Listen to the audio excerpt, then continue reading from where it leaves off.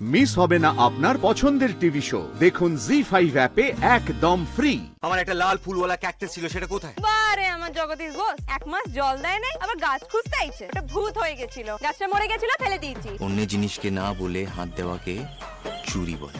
রাতের মধ্যে আমার জিনিসটা চাই। তবে রে তিরপিন্ডে ওই মরা গাছ যদি মুখে ঘষে না দিয়েছি তবে আমার নাম পারুল চক্রবর্তী লয়। জি ফাইভ ডাউনলোড করুন আর সব এপিসোড দেখুন একদম ফ্রি